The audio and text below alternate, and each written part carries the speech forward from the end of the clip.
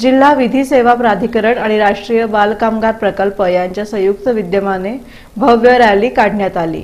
राष्ट्रीय बालकामगार प्रकल्पात शिकत असलेल्या बालकामगार विद्यार्थ्यांची रॅली रंगभवन ते जिल्हा विधी सेवा कार्यालयापर्यंत काढण्यात आली. यात बालकामगार विद्यार्थी मोठ्या संख्येनं सहभागी झाले होते. दरम्यान आजची मुलं ही उद्याचं भविष्य असून ते देशाचे उद्याचे नागरिक देखील आहेत. त्यांच्या हातात देशाचं भविष्य असून त्यांच्यावर पालकांनी चांगले संस्कार करावेत असं आवाहन जिल्हा विधी सेवा प्राधिकरणाच्या सचिवा न्यायाधीश विभूती पाटील यांनी इन सोलापूर न्यूजशी बोलताना केल्या. मुलांना देशातील कायद्यांची तोंड ओळख व्हावी जेणेकरून ते उद्याचे सुजाण नागरिक होतील. त्यांना केवळ आपले अधिकारच नाहीत तर आपली कर्तव्य काय आहेत हे देखील कळेल.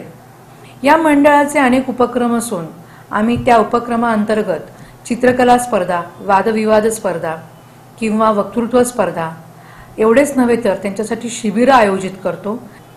अशा प्रकारे जिल्हा विधी सेवा प्राधिकरण सोलापूर हे केवळ राष्ट्रीय विधी सेवा प्राधिकरण नवी दिल्ली यांच्या निर्देशानुसारच चालत नसून जास्तीत जास्त लोकांपर्यंत एवढेच नव्हे तर वंचित मुलांना देखील याची जास्तीत जास्त माहिती व्हावी. दरम्यान राष्ट्रीय बालकामगार प्रकल्पातील या बालकामगार विद्यार्थ्यांनी कोर्टाचं कामकाज कशा पद्धतीने चालतं याची देखील माहिती घेतली. ही संकल्पना देखील त्यांच्यासाठी फायदेशीर ठरणार असल्याचं मत देखील व्ही. पी. पाटील यांनी यानिमित्त व्यक्त केलं.